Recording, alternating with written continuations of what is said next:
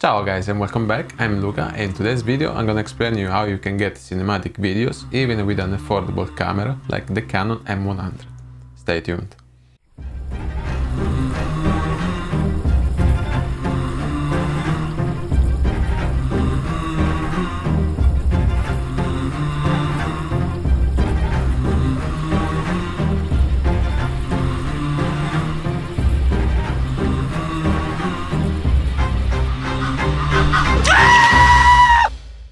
So to make this video I used the Canon EOS M100 with a kit lens 15 to 45, a fixed ND8 with a polarizer, a diffusion filter, the Black Pro Mist uh, with 1 of 8 uh, intensity and everything was filmed at 720p.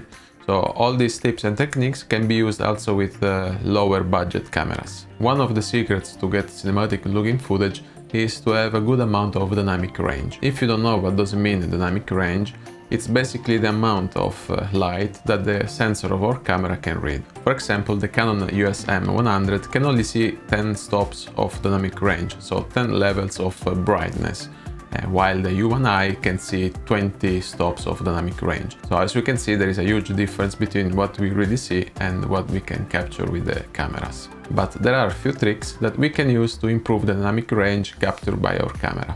One of these is to use a diffusion filter. The diffusion filter is gonna help us to lower the contrast of the image and is gonna rise a little bit the details in the shadows. In my case I use the Black Pro Mist from Tiffen that has an intensity of uh, 1 of uh, 8 and this is not giving a strong effect of uh, diffusion but it's gonna be enough to give more a cinematic look to our images. And in addition to this filter, I always use fixed ND filters with the polarizer because they help to keep the shutter speed at the proper speed and we're gonna keep the aperture of our lens wide open and the polarization effect is gonna increase the saturation in the sky and this is gonna help us to retain the details even if the sky is uh, a little bit too bright. I will put the links in the description so you can see what type of filters I used for this uh, video. In addition to the filters there are two more tricks to increase the dynamic range of our camera. The first is that we can change the dynamic uh, range capture from our camera enabling the highlight tone priority setting. In this way, the camera is gonna film with the base ISO of 200 instead of 100 and it's gonna capture more uh, details in the shadows.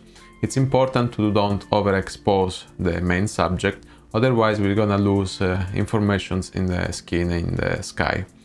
It's always better to underexpose a little bit the footage, so we're gonna have more room to play with the highlights and with the shadows. Another setting that we have to change in the camera is to change the picture profile from uh, standard or automatic to neutral. We're gonna change the sharpness strength to 0, sharpness fineness uh, to the value of 2, sharpness threshold to the value of 2, the contrast to the value of minus 4, Saturation we can keep it at zero and color tone to zero as well. But what about you guys? What's your uh, friendly budget camera to get uh, cinematic videos? Drop in a comment a link with your video and what camera you're using. It would be nice to share your artistic point of view and ideas to everyone so we can all improve our skills. If you like this video, show it and click the like button and think about to subscribe to the channel, it will help me a lot. So this is it for today guys, thank you for watching and I'll see you next time. Ciao!